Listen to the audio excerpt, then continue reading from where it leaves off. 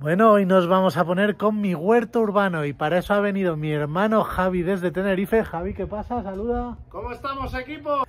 Javi es experto en agricultura urbana, en crear huertos urbanos. Bueno, urbana y no urbana, ¿verdad? Todo tipo de, todo agricultura. Lo que me echen. Bueno, y entonces en el vídeo de hoy vamos a ver punto por punto todos los pasos que va dando para convertir toda esta tierra en un huerto que nos dé de comer. Bienvenido a un nuevo programa de Diario de un Emprendedor.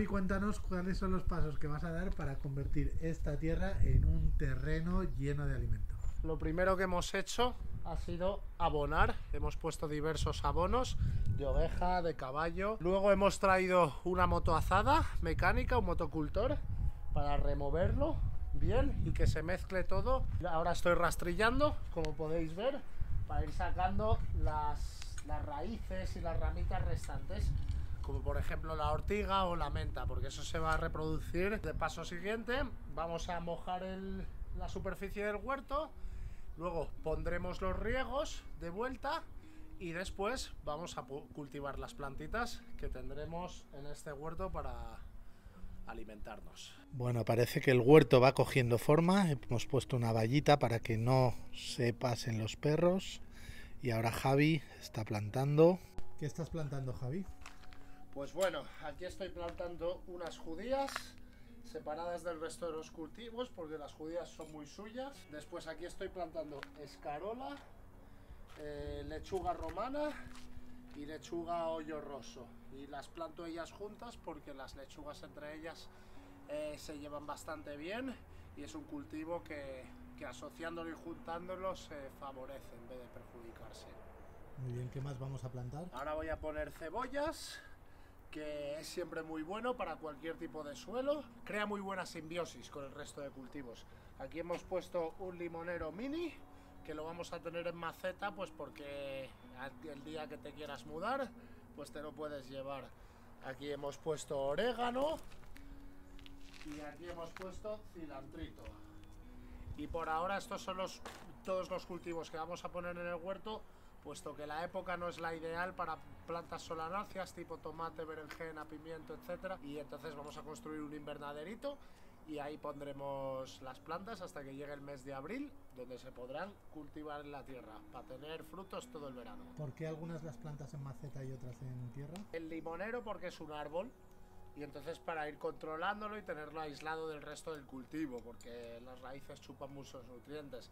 El orégano porque se expande, es como la menta, es una planta muy invasora, entonces lo mismo, tres cuartos de lo mismo para tenerla controlada.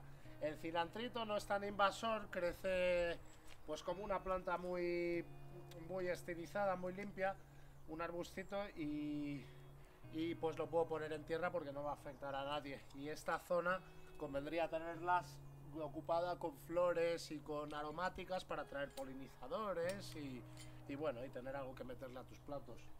Y ahí puse la chilera paprika, que la puse en maceta para tenerla separada porque como es la única que tenemos, pues para que se sienta especial ella, pobrecita. Muy bien, he visto también que has dejado ahí una caléndula. Hemos quitado todo, toda la menta que había, porque has dejado la caléndula. La caléndula es muy buen polinizador, eh, repelente de ciertas plagas, eso dicen.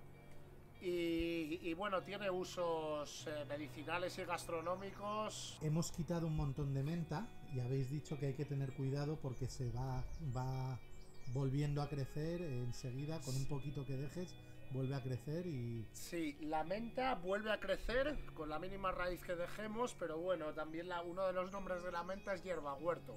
En Canarias se le llama así, por ejemplo. Y suele asociarse muy bien con el resto de cultivos.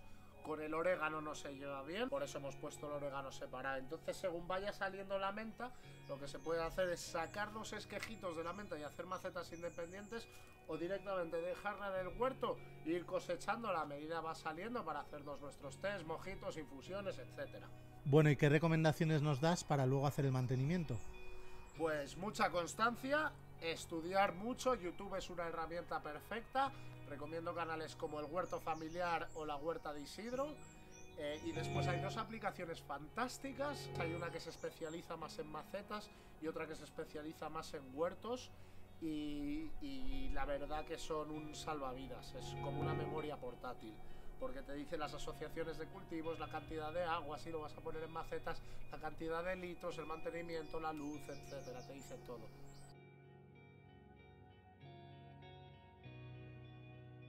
Cada dos días de un manguerazo así por el... Bueno, y aquí tenemos el invernadero que nos has creado todo con material reciclado, porque hay que decir que todo eso es prácticamente el 90% material reciclado. ¿Y qué has metido aquí, Javi?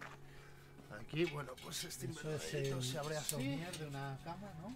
Sí, y aquí pimientos, berenjena, más pimientos, compré una berenjena, tomates, más berenjenas, los melones, los calabacines y más tomates. ¿Y por qué tenemos cosas en invernadero? Y... Pues porque ahora mismo no es época para plantar este tipo de plantas y las compramos de todas maneras.